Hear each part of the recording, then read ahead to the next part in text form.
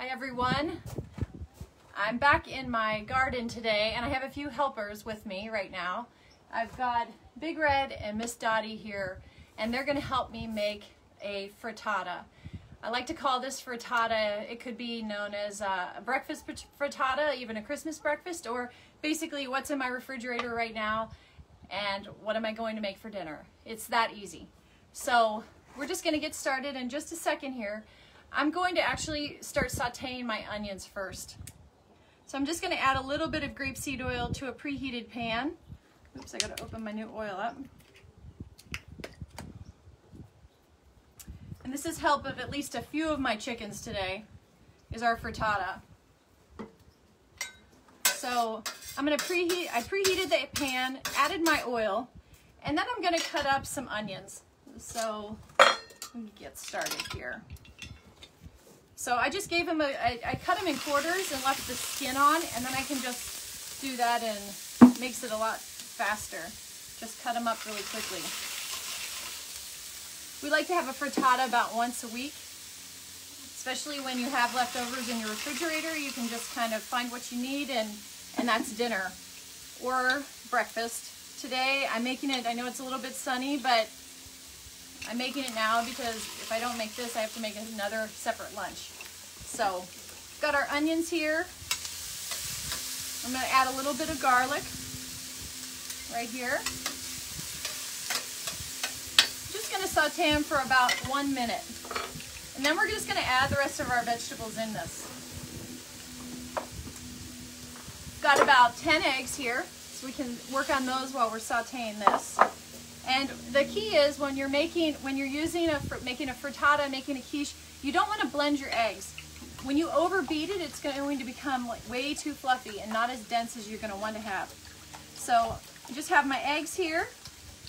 going to add some salt.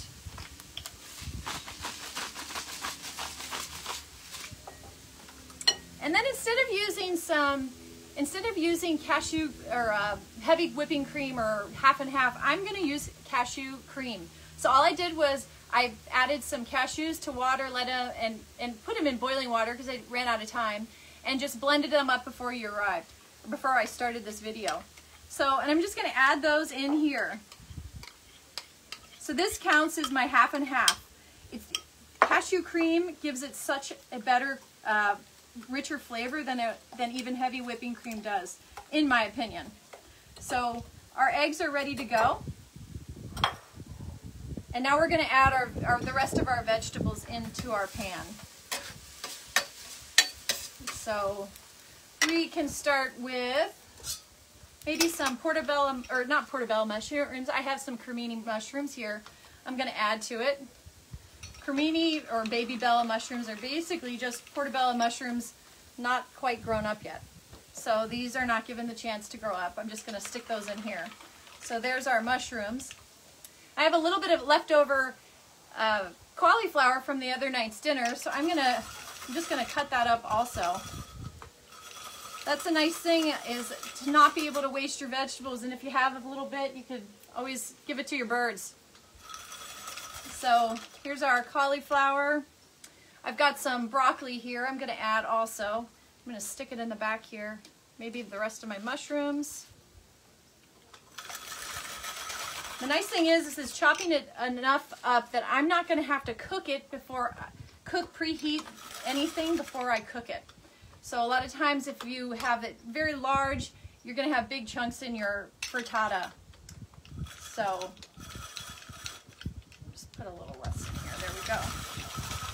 I am mortifying my children right now of having my chickens in the garden while I'm making a frittata. But you know what? We've been home way too long and I need to have some fun. Hey Anne, how are you? So I'm to also add some zucchini to my frittata here. Let's see, which one do I want to use? I think I'll make shoestrings with my zucchini. I add zucchini to most anything I make. The reason is because it adds extra fiber, a little bit of extra moisture.